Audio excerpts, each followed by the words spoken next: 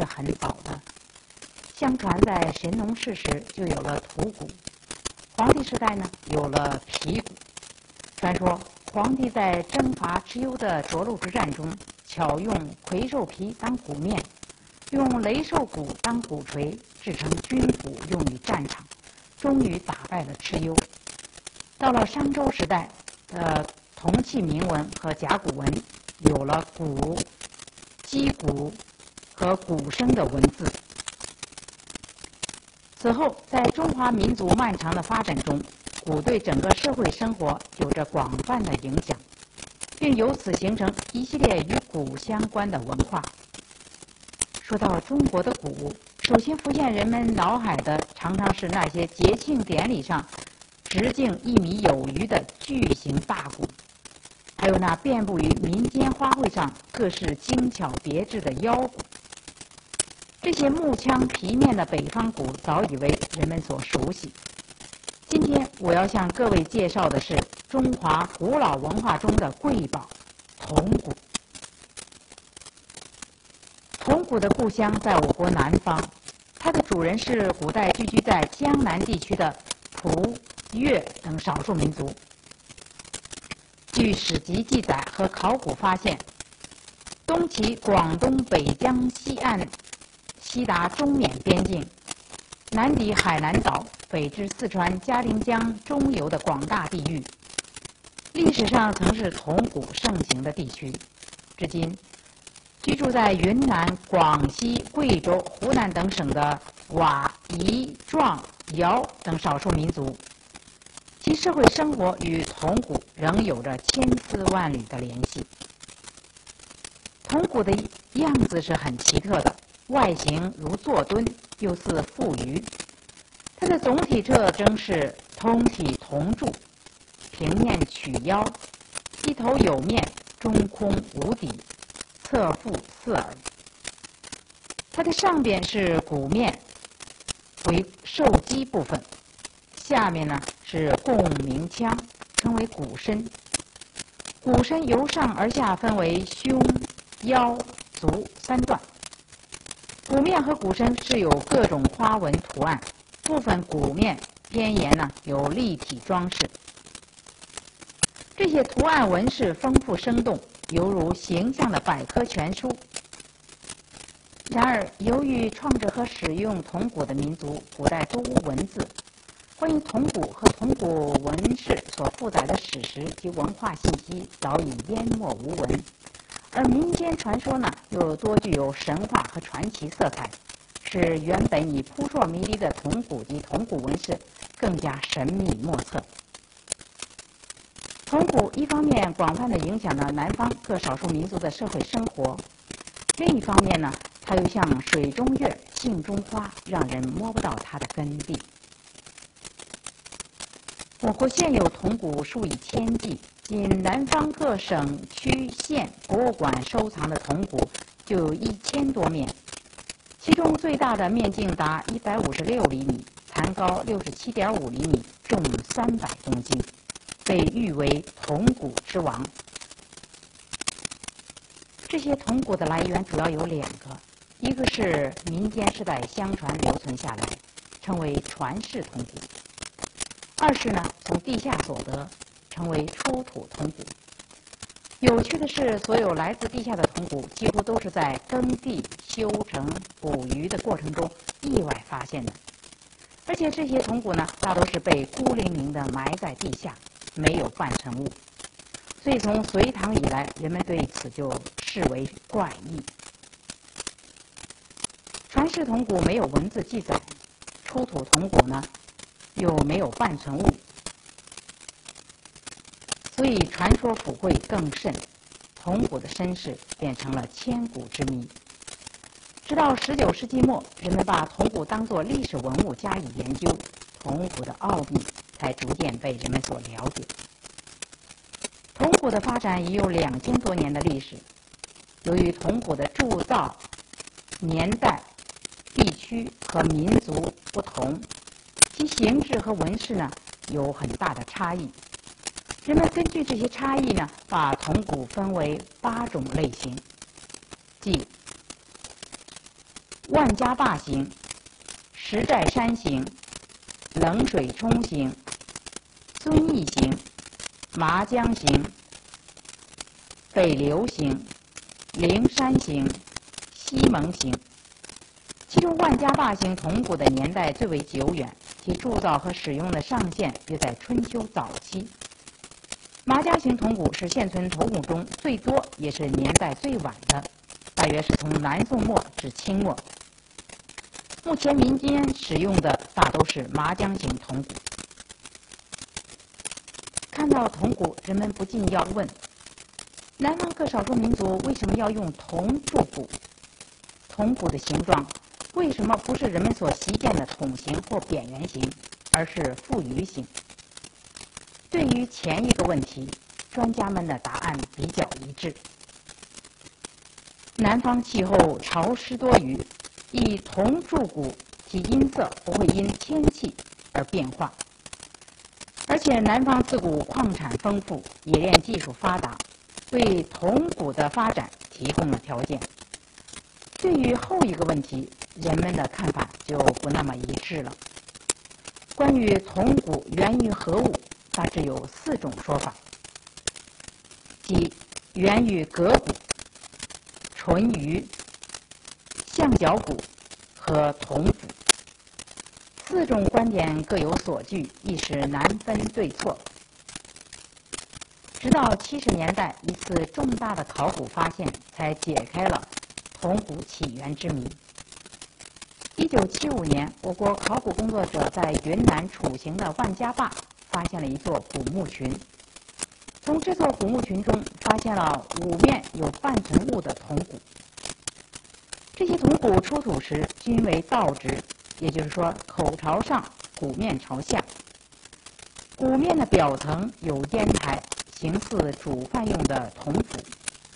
经过专家鉴定，确认这五面铜鼓铸造和使用的年代均在春秋前后，是现存铜鼓中最古老的类型。这一新的发现证实了铜鼓起源于铜釜的说法。由此，人们找到了一个可信的答案：铜鼓最早是从煮饭的铜釜脱胎而来，正像中原地区早期以瓦釜先做烹饪器具与乐器一样。铜鼓源于铜釜，并分化了铜釜的乐器功能，成为独立的器物。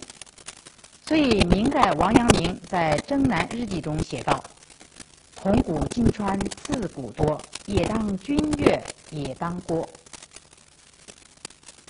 铜鼓成为独立的器物之后，其主要社会功能是什么呢？不少典籍有这样的记载：击铜鼓以为乐，用铜鼓节乐，击鼓为欢。所以，《通典》《文献通考》《太平御览》等书均将铜鼓收入乐部。但是，这并不是铜鼓的唯一功能。在创制和使用铜鼓的初期，对我国古代南方许多少数民族来说，那时候族之大事为祀与戎，所以铜鼓曾经被当作礼器和重器，用于祭祀和召集部众、指挥作战，象征着权威。铜鼓。曾被当作贡品和赏赐，以表示等级和尊严；也曾被当作葬具，以佑祖先。那除此之外呢？铜鼓还是宝贵的财富，是富有的标志。当铜鼓不仅仅是乐器，而是礼器，并象征着统治者的权威和财富时，它就变得尤为神圣和珍贵。《隋书地理志》中说：“有古者。”号为都老，群情推服。所谓都老，是壮族对头人的称呼。《明史刘显传》中也说：“博古二三，便可建号称王；击鼓山岭，群蛮毕击。”其号令和统御作用远非一般器物可比，因此统治者的权势大小常常与铜鼓占有数量的多少成正比。同样呢。铜鼓的得失也是战争胜负的重要标志，以致对铜鼓的使用和收藏也变得极为离奇而神秘。古代使用铜鼓的南方各民族对铜鼓的保存方式，最普遍的就是用埋藏的方式。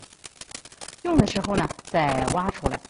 最后人发现的铜鼓多为教穴单出，没有半存物。他们为什么要采取这种离奇的收藏方式呢？原因大致有以下几个方面：第一，是为了安全。我们知道，南方各少数民族传统民居。大多为草棚茅舍，极易发生火灾。据说云南西蒙佤族的傣格拉寨原有三十五面铜鼓，其中二十三面毁于火灾。铜鼓又是权力和财富的象征，它本身就值很多钱，因此常常是强敌掠夺的对象。秘密埋于地下，既防火又安全。二是部族和村寨遇难，临时分散掩藏。我国古代南方各部族之间时有冲突发生，即使到了本世纪前期，不同的部族或者不同村寨之间也经常发生仇杀或者械斗。每当战争或者械斗结束，失败的一方往往合族或者合寨奔逃，远徙他方。在逃难时，铜鼓作为重器不便携带，或者怕途中有失，则采取埋藏的办法，以便他日重返家园时再挖出来使用。在埋层去埋，一旦埋藏铜鼓的人发生意外，那么埋藏地下的铜鼓呢，可能就永远沉睡于地下了。这也是南方铜鼓作为教学单出而没有半存物的一个重要原因。三是铜鼓作为祭品，埋于地下或者抛于江河之中。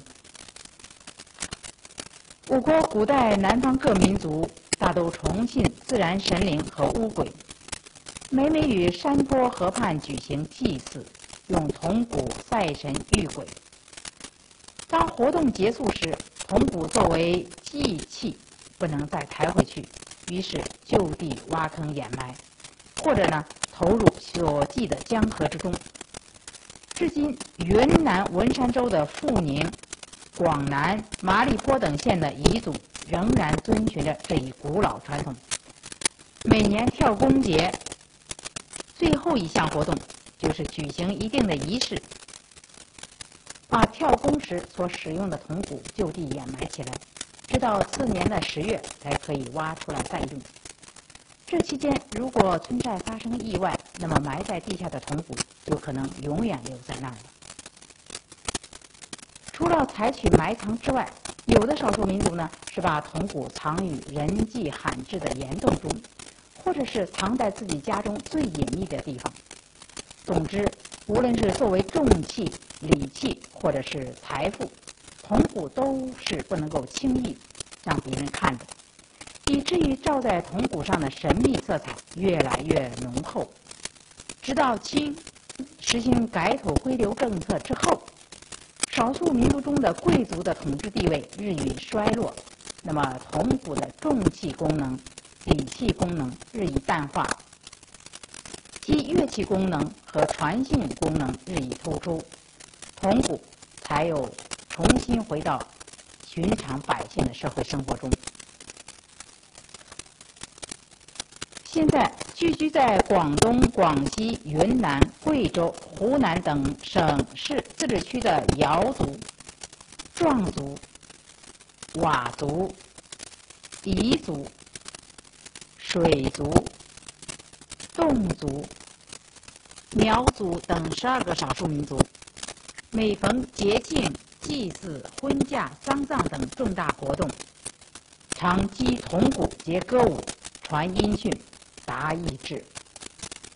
怒而击之则舞，忧而击之则悲，喜而击之则乐，其异变，其声异变。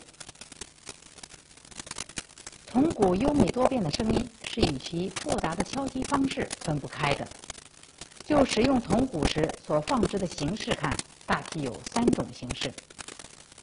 一是坐击，二是旋击，三是鱼鸡，也就是两个人抬着，边走边敲鼓面。这几种敲击方式又各有变化。比如在旋击鼓时，为了使鼓音洪亮传得更远，采取二人合作，一人手持鼓槌敲击鼓面，一人呢拿木桶或者瓦器在铜鼓共鸣腔后部收其音而纵之，使骨腔内的空气复杂流转，以达到增音或者改变音色的目的。随着铜鼓研究的深入。长期笼罩在铜鼓上的神秘云雾被逐渐拨开，人们一旦找到解开铜鼓奥妙的钥匙，那些早已消失在历史长河中的古老民族史实、多彩的民族风情、灿烂的民族文化，都如诗如画般的呈现在人们的面前。使那些在我国现代少数民族社会生活中仍保有旺盛生命力的传统习俗，找到了历史和文化的源头。这便是铜鼓文化的另一个奇迹——铜鼓纹饰。铜鼓纹饰遵循着美观与实用、装饰与器形相统一的原则。鼓面中心受击处有一突出的太阳纹。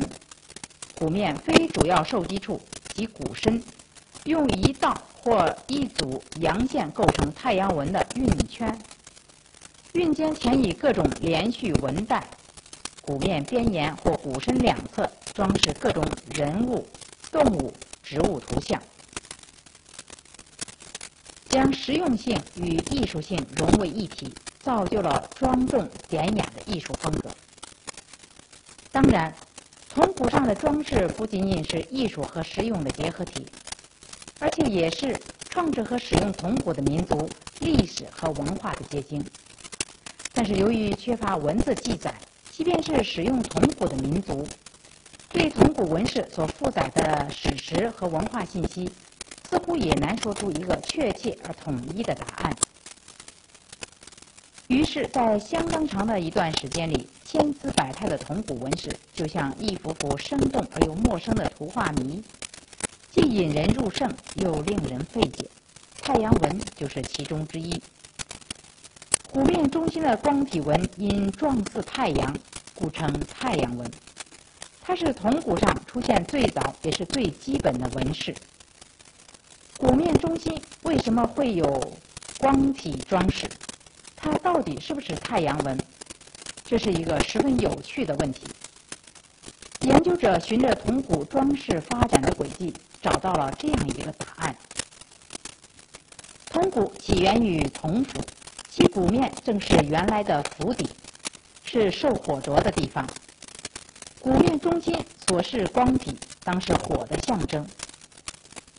铜鼓定型以后。鼓面中心的光体逐渐转化为多芒的星体，并在星体周围是有一道道由弦纹构成的晕圈，整体看去犹如一轮光芒四射的太阳。在人类社会的早期，太阳曾是许多原始部族崇拜的对象。据史籍记载，我国古代南方各少数民族也有祀日的习俗。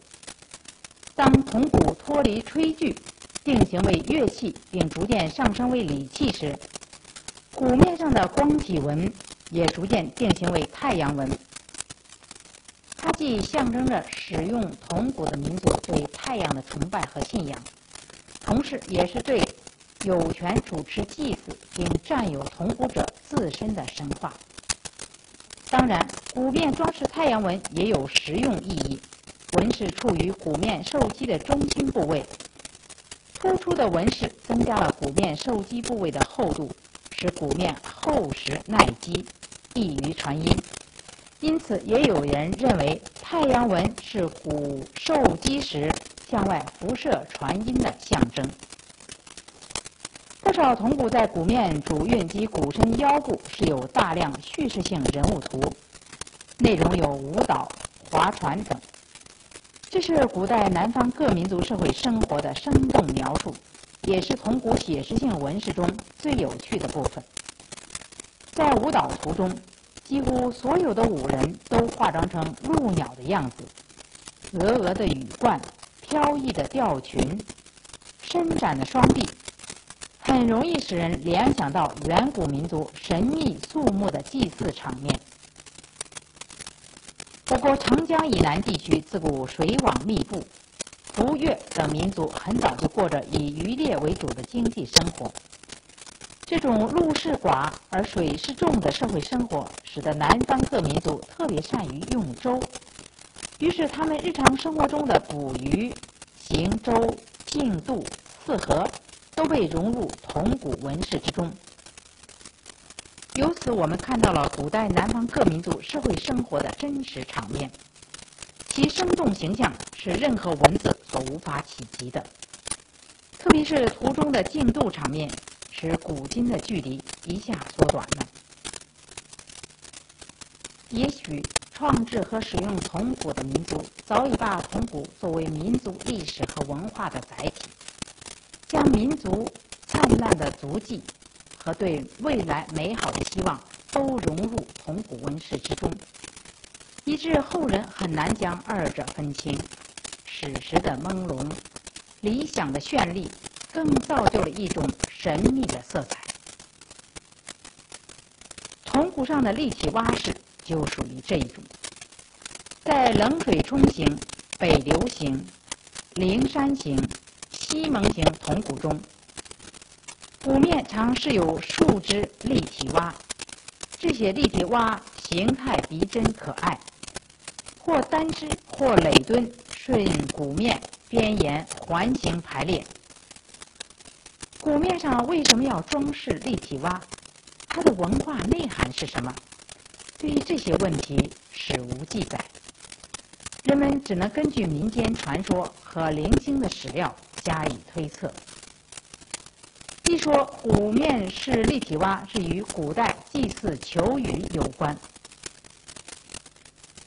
现在广西河池、百色及洪水河畔的凤山东南一带的壮族民间，仍然流行着埋蛙婆祈求丰收的古老习俗，并由此形成了一个传统节日——蛙节。壮族把蛙称为马铃。所以蛙节呢，又称为马铃节。这当是古人渔社祭蛙、祈求风调雨顺习俗的遗迹。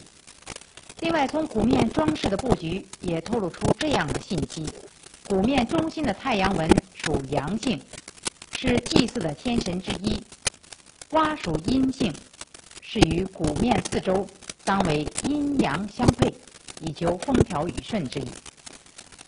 我国古代南方各民族多从事农业，在自然经济状态下，风调雨顺是农业经济的命脉，而蛙与雨水与农业丰收有着隔不断的联系。即便古人还不能够真正了解蛙与天气变化以及对农作物的意义，但是他们却可以从实践中感受到蛙鸣与阴雨。以及蛙对消灭农田虫害所存在的天然关系，也许这正是南方各少数民族爱蛙敬蛙传统长存不衰的真正原因。聚居在云南西蒙山区的佤族，则把蛙和本民族的诞生联系在一起。佤族民间传说，西蒙北部的高山上有一个很深的绿水湖，湖中有一对青蛙精，他们就是佤族的祖先。为了不忘蛙精生育繁衍之恩，人们便把蛙铸在神圣的铜鼓上，以示崇拜和纪念。这也许是佤族对早期民族图腾崇拜的一种传奇说法。不过，敬蛙的确与古代南方少数民族祈求民族繁荣昌盛的观念有关。他们很早就从日常生活中发现雌雄蛙交媾及大雨过后幼蛙成群的。场面，从青蛙强盛的繁殖力，自然而然地联想到本民族的繁衍延续问题。他们渴望像青蛙那样子嗣繁茂，于是青蛙不仅成为崇敬的对象，而且被抚衍为一些民族的祖先。广西民间也流传着“人生蛙，蛙变人，人蛙相配”育子的传说。一些学者认为，铜鼓上的垒墩蛙就是交媾蛙，其祈求足以昌盛、子孙满堂的寓意是十分明显的。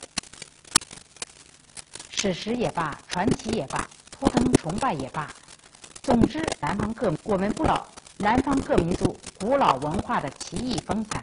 而且还可以直观地看到中华各民族文化交融发展的足迹，比如北流行灵山形铜鼓上的乾纹，遵义形麻江形铜鼓上的游旗纹、福禄纹、八卦纹，以及由动植物组合纹所构成的人丁兴旺、富贵有余、云龙献寿等主题纹饰。都充分反映了秦汉统一南方之后，南北方各民族在政治、经济、文化方面的联系与发展，显示了中华各民族文化在交流和发展中的大融合。铜鼓是中华古老文化中的瑰宝，它曾在中华文化史上闪出耀眼的光辉。铜鼓也是一部无字的珍贵历史文献。它记录着我国南方各少数民族行进的足迹。虽然人们一时还无法全部揭开铜鼓的奥秘和文化蕴含，但是它的历史和文化地位已引起全世界的关注。铜鼓不仅是南方各少数民族的骄傲，也是中华各族人民的骄傲。